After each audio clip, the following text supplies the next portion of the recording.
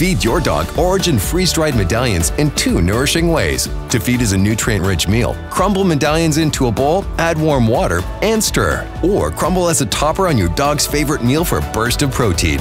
ORIJEN, nourish amazing.